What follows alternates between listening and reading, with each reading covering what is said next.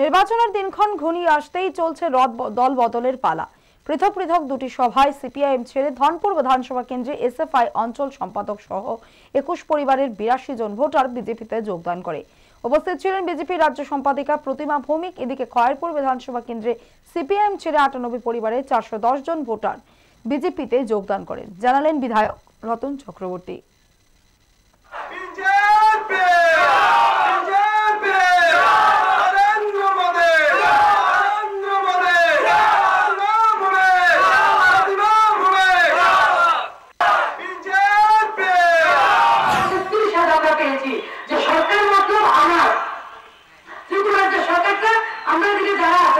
আমি প্রতি অনেকের বেশি সমস্ত অধিকার না।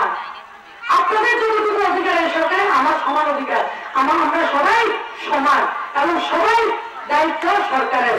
আজকে পাঁচ নম্বর খয়পুর বিধানসভা কেন্দ্রের তিন, চার, পাঁচ বুথে আজকে দলবদল হয়েছে, যোগদান পর্ব হয়েছে।